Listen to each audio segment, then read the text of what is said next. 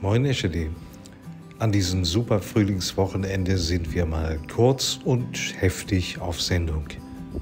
Befreit von den Fesseln des staatlich geförderten Breitbandausbaus gibt Vodafone bei der Glasfaserversorgung in Höfer jetzt richtig Gas. So stellen sich die Menschen den vielbeschworenen Deutschlandtakt vor. Mainzelmännchen an allen Enden des Dorfes.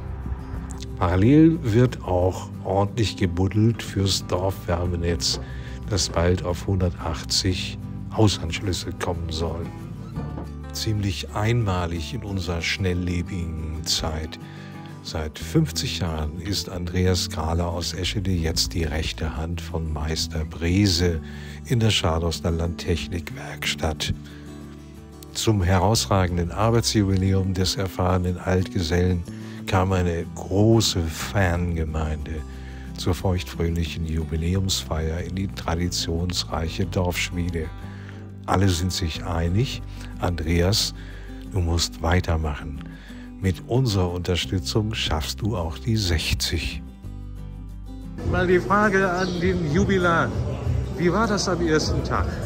Am ersten Tag war morgens was kalt und Tag über schön warm. Oh, das war nicht viel. Es war ein Montag. Und ein Montag. Und was äh, musstest du machen am ersten Tag? Ölwechsel am Schlepper von unserem Nachbarn Rudolf Kaiser. Viel Luft für Neues hat es in der Scharnhorst der Ortsmitte gegeben nach dem Verkauf des Alpshofes. Die verbrauchte Substanz des 200 Jahre alten Wohntraktes wurde nach Bergung kleiner und großer Erinnerungsstücke nach einem gelungenen Hofflohmarkt abgerissen. Diese zeitreife Aufnahme von Käufer Thorsten Hake dokumentiert das eindrucksvoll. Schön, dass fast alle übrigen dorfbildprägenden Gebäudeteile des Hofes erhalten bleiben und neue Funktionen bekommen sollen.